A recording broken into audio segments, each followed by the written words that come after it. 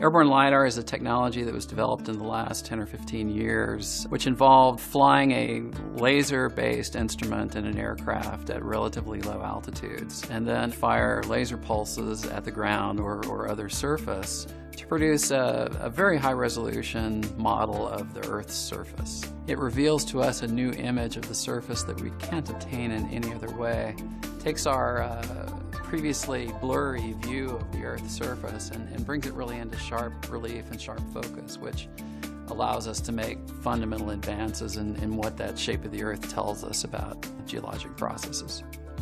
With the help of the state of Texas, or the State Geological Survey, we purchased the most advanced LiDAR system in the world. It has five sensors. We can shoot an image down through water. Uh, we've flown the North Slope of Alaska last year and are collecting data now that gives you resolution that's at the inch by inch or slightly larger scale from the air. So we're literally able to resolve the surface of the Earth at a, at a resolution space that's never been seen before.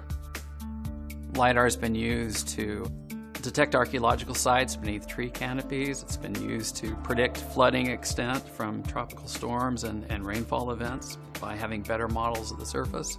Looking at sinkhole formations in places where you have cavities forming in the subsurface and then the land surface subsiding into those.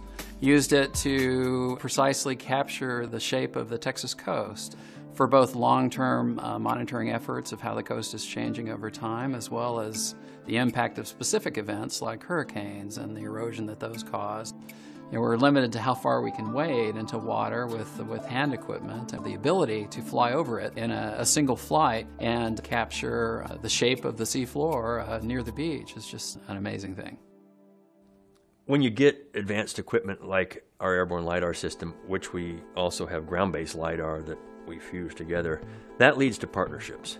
We partner with the USGS, we partner with DOE, we partner with uh, EPA, we partner with other academic institutions, we partner with industry. We have done work for the General Land Office, the uh, Texas Department of Transportation, then federal agencies as well, like the Department of Defense, National Engineering Technology Laboratory. The possibilities are really endless.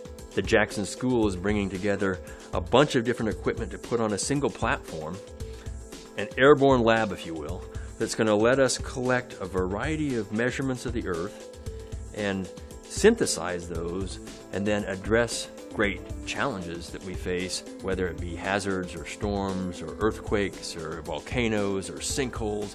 We're going to be out there. It allows the Bureau to achieve our mission, which is bringing industry, academia, and governments together around challenges so that each of those groups benefits from the results and the information that they need to inform decisions that help the broad public.